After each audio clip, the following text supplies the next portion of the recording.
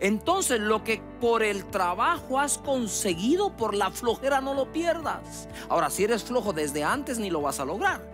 Lo que quiero tratar, o es, me estoy haciendo un pedazos para enseñar aquí, es el hecho que hayas hecho cosas bien hechas, no significa que la flojera, si uno se da la flojera, no vaya a pasar factura. A este tema precioso que Dios nos ha dado. Yo le he llamado Jesús el carpintero.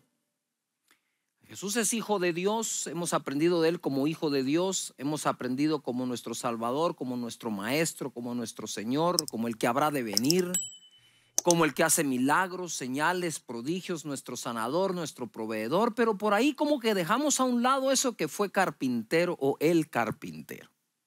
Quiero empezar hablando acerca de esto. El trabajo viene de Dios. Trabajar es algo que Dios inventó.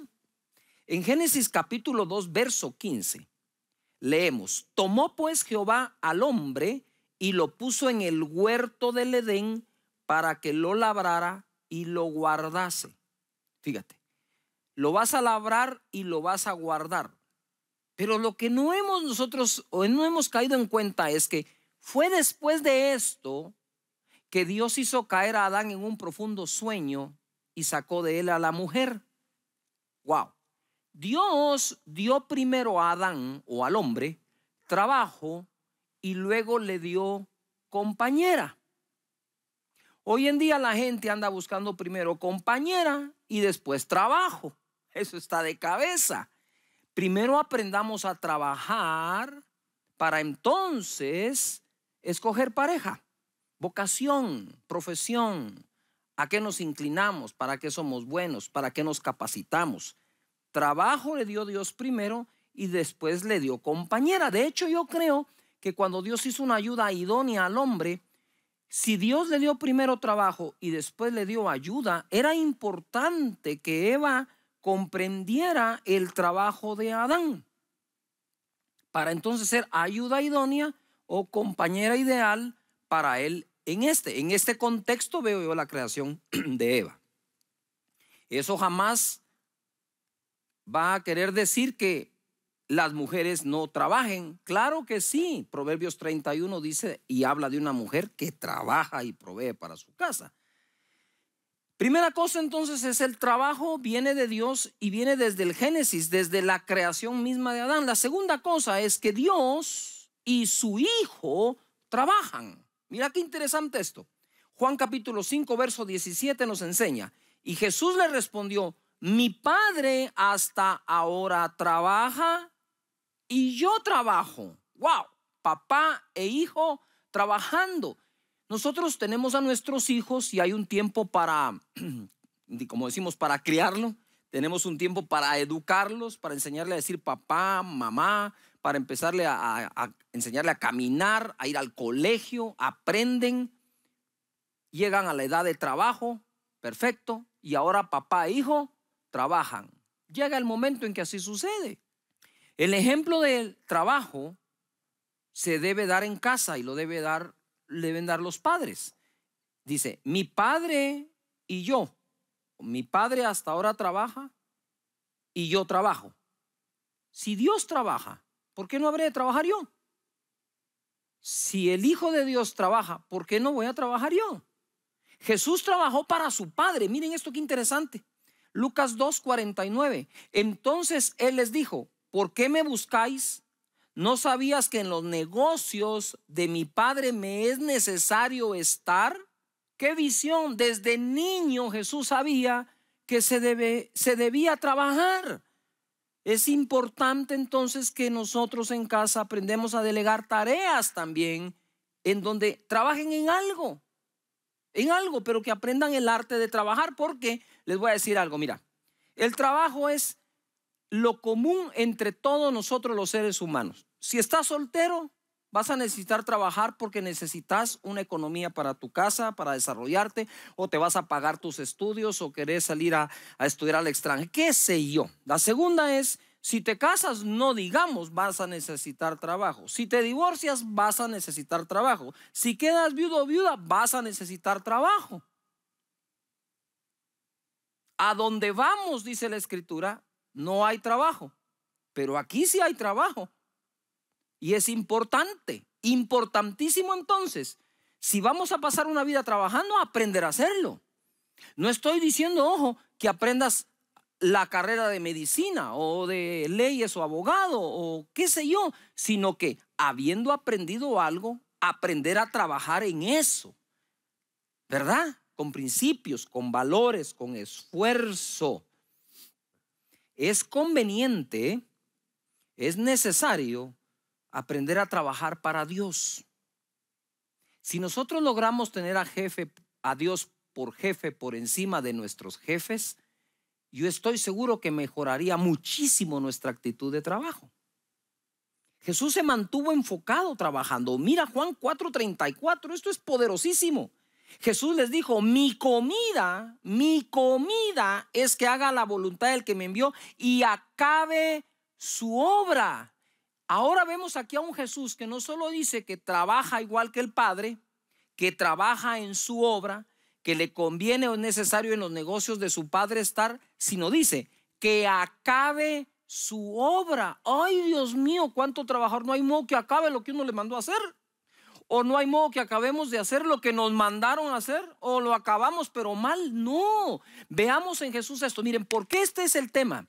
Porque yo quisiera caminar sobre el agua como Jesús.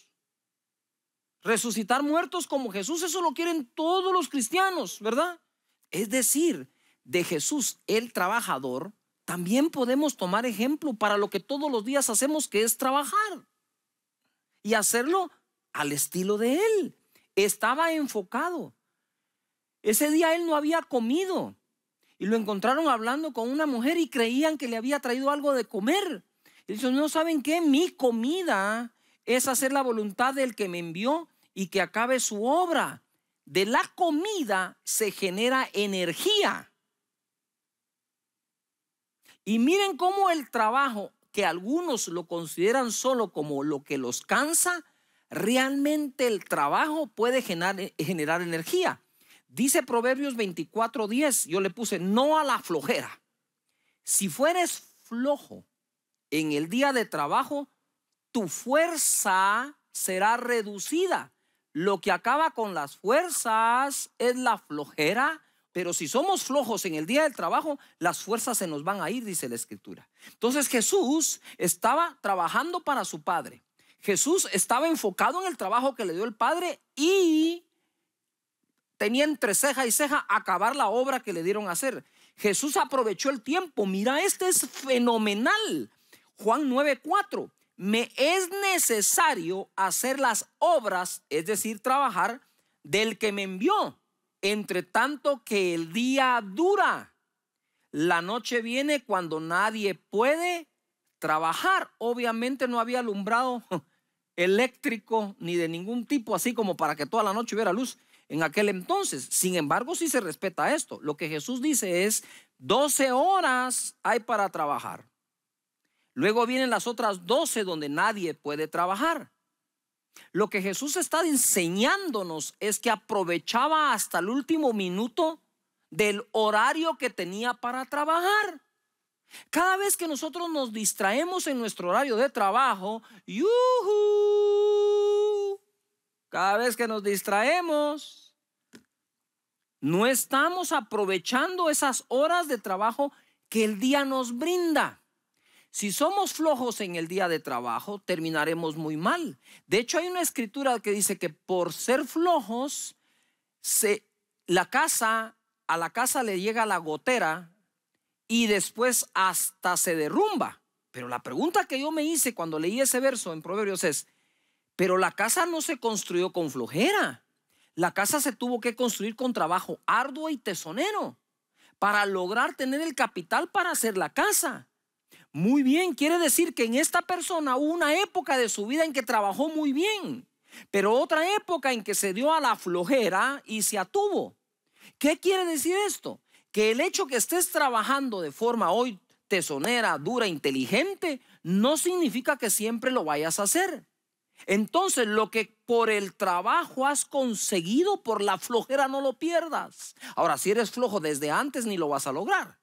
Lo que quiero tratar, o es, me estoy haciendo un pedazos para enseñar aquí, es el hecho que hayas hecho cosas bien hechas, no significa que la flojera, si uno se da la flojera, no vaya a pasar factura.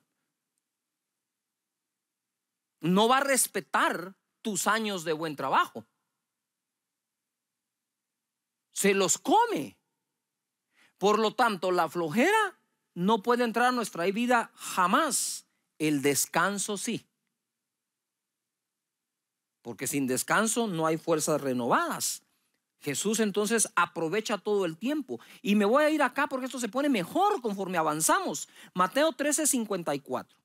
Y venido a su tierra les enseñaba en la sinagoga de ellos, de tal manera que se maravillaban y decían, ¿de dónde tiene este esta sabiduría y estos milagros?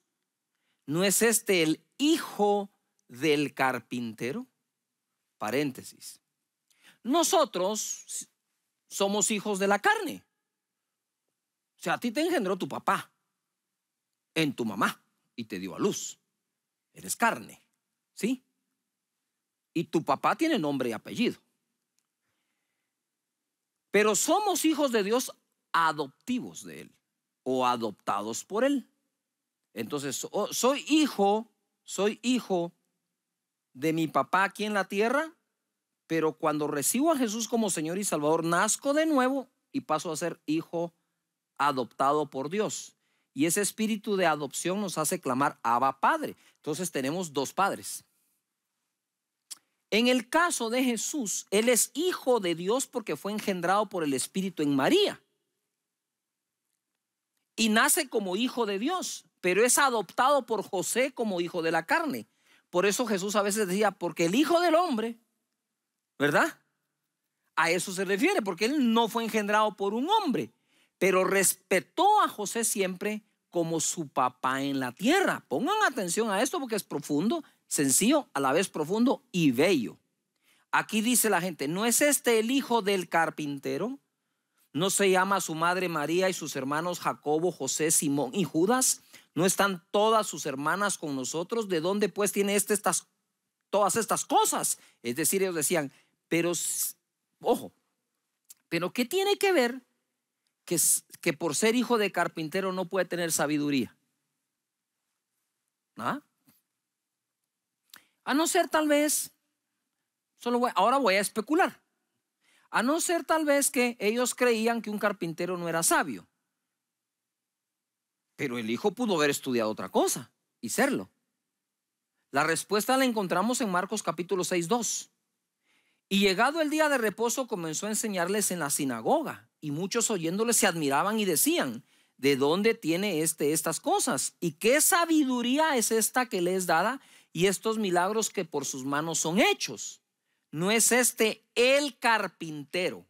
Ojo, en la escritura que leí anteriormente, Mateo 13 dice, no es este el hijo del carpintero, pero en Marcos dicen, no es este el carpintero. ¡Wow! Ahora viene y se pone buenísimo. Agárrese la silla. Eh, o donde quiera que estés. Mira, primero, Jesús dijo en los negocios de mi Padre es necesario estar, su Padre celestial. Pero también estuvo en los negocios de su Padre terrenal o quien lo adoptó, porque en el registro no pudieron inscribirlo como nombre del Padre Jehová. No, no pudieron. Tuvieron que poner José. ¿Me estoy explicando? O sea, en papeles, en esta tierra, era hijo de José. Fue engendrado por Dios, eso lo sabemos muy bien. Lo que quiero explicar, porque fue lo que más me impactó a mí, es ver cómo Jesús trabaja para su Padre Celestial, pero no por eso dejó de trabajar para José, quien lo adoptó como hijo. Porque hijo de carpintero, carpintero. ¡Wow! Él aprendió carpintería por medio de José. José fue su maestro, su, el, que le enseñó esa, arte de la carpintería, que en el original no es solo carpintero, es constructor. Y por eso Jesús sacaba unas parábolas, y creo que dice, dice eh, tectón, es constructor. ¿Por qué digo esto? Porque Jesús en sus parábolas nunca puso una parábola de carpintero, pero sí una parábola del hombre que construyó su casa sobre la roca y sí habló de la piedra principal del ángulo que desecharon los constructores. No usó un ejemplo de carpintero. Sin embargo, sí usó ejemplo de constructor. Total, en esa constructora de Jesús se hacía carpintería. Y ojo acá, él fue inspirado en la carpintería, no por Dios su Padre Celestial. Él fue inspirado en la carpintería por José el terrenal. ¡Ah, qué belleza! ¿No creen que es lindo? Que Jesús no dejó de honrar a José poniendo por excusa que solamente iba a honrar a Dios, su Padre. Y así, por eso digo que el trabajo se aprende en casa. Tal vez eres médico y tu hijo no va a ser médico, pero va a aprender cómo tú practicas la medicina para él practicar quizás la arquitectura. Con los mismos principios, valores, esfuerzo, desvelos. A veces no nos da tiempo de comer, sin el a veces, a menudo, ¿verdad? Porque es trabajo inteligente, pero también fuerte. El trabajar es un regalo. Es una ocupación que viene de Dios, Eclesiastés 3:9. ¿Qué provecho tiene el que trabaja de aquello en que se afana? Yo he visto el trabajo que Dios ha dado a los hijos de los hombres para que se ocupen en él. Trabajar, ¿sí? Es una ocupación. Debemos estar ocupados en nuestro trabajo. Y entre más nos ocupamos en él, mejores habilidades desarrollamos, mejor aprendemos. Estudia más de tu trabajo del que te enseñaron en la universidad o colegio. Busca libros, métete en ellos, escribe uno, haz de con tal de desarrollar. ¿Por qué? Porque allá afuera en el mercado hay muchísima gente que sabe hacer tu trabajo también y podría ser que por ahí haya uno que lo que exista uno que lo haga mejor y por menos. Yuhu. Ahí es donde cabe el yuhu. El trabajo puede traer cansancio. Primera Tesalonicenses 2.9, porque no, porque os acordáis hermanos de vuestro trabajo y fatiga, de nuestro trabajo y fatiga, como trabajando de noche y de día, dice Pablo, como trabajando de noche y de día para no ser gravosos a ninguno de vosotros, os predicamos el Evangelio de Dios un gran predicador de L. Moody dijo, me canso en el trabajo, pero jamás del trabajo. Por supuesto que regresamos cansados a casa de trabajar, pero no del trabajo que tenemos. Tenemos actitud para hacerlo. Pero no solo hay que enseñar trabajo inteligente, duro, tesonero, sino también la actitud para trabajar. Eclesiastés capítulo 2, perdón, 3:22. Así que he visto que no hay cosa mejor, no hay cosa mejor para el hombre que alegrarse en su trabajo. Porque esta es su parte, porque quien lo, ¿quién lo llevará para que vea lo que ha de ser después de él? Nadie. Hay que estar alegre en el trabajo para hacer un buen trabajo y no al revés, porque hago un buen trabajo estoy alegre. Si primero estoy alegre, lo más probable es que haga un buen trabajo nos dignifica. Salmo 128.1. Bienaventurado todo aquel que teme a Jehová, que anda en sus caminos. Verso 2, agárrese. Cuando comieres el trabajo de tus manos, bienaventurado serás y te irá bien. ¿Por qué trabajar honestamente? ¿Por qué trabajar inteligente y duramente? ¿Por qué ser honesto y honrado para trabajar? Porque no me cabe a mí en la mente cómo alguien puede poner un plato de comida en la mesa para sus hijos haciendo lo indebido, lo incorrecto y lo malo. Hay gente que pone platos de comida en su mesa mintiendo y difamando y haciendo cosas que no se deben. Si vamos a dar de comer a nuestros hijos, que la fuente que trae esa bendición venga de Dios, sea honesta y sea correcta para la gloria y la honra de nuestro Señor. Bienaventurado serás, dice, y te irá bien. Tu mujer será como vid que lleva fruto a los lados de tu casa, tus hijos como plantas de olivo alrededor de tu mesa, aprendiendo de ti. He aquí, dice, he aquí que así será bendecido el nombre del hombre del que teme a Jehová. Proverbios 22, 29. Has visto hombre solícito en su trabajo, delante de los reyes estará, no estará delante de los de baja condición. Yo escribí aquí, Jesús es rey y trabaja como tal. Hombre solícito es el hombre amable, dispuesto, atento, dice el diccionario. Hombre solícito, así era Jesús. La honestidad en el trabajo es súper importante. Lucas capítulo 20, verso 20. Y acechándole, uy, lean esto, enviaron espías a que, a que simulasen juntos, a que se simulasen juntos, a fin de sorprenderle en alguna palabra para entregarle al poder y autoridad del gobernador.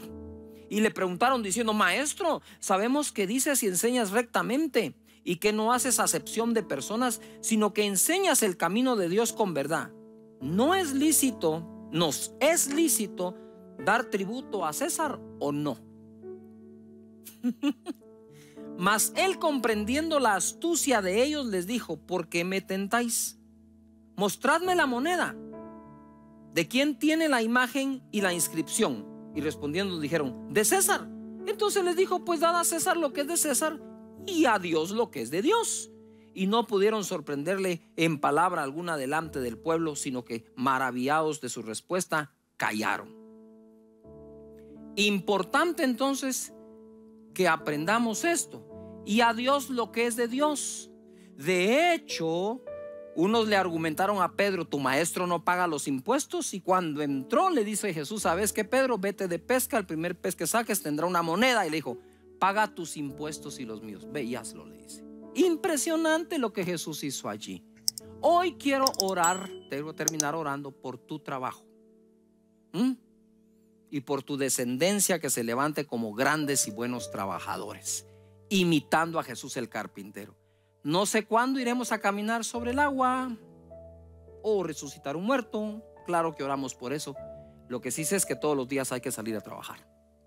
Y Jesús como carpintero nos demostró que se puede hacer bien hecho.